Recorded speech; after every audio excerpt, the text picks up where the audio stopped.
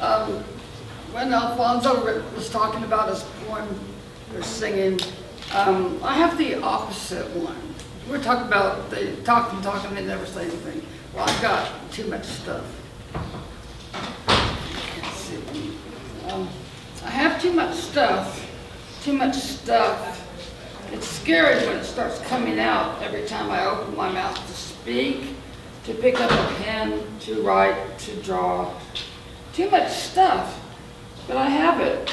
And to survive, I have stuffed it, killed it, ate it, and spat it out. Now it is on the walls of your very favorite night spot. I've covered the walls with emotion that would not stay stuffed any longer.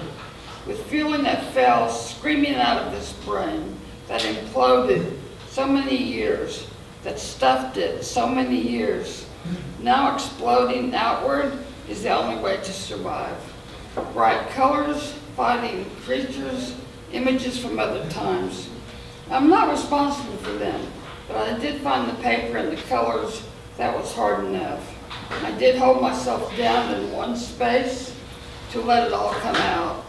I did release my own chains one by one to allow subconscious screams to emerge, to build, to come forth. I have put my soul on the white and yellow walls. I am alive, if you will take the time to stop and look. I did survive, and I am here now seeking humanity.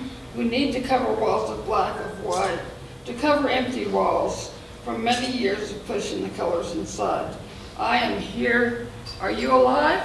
Yeah.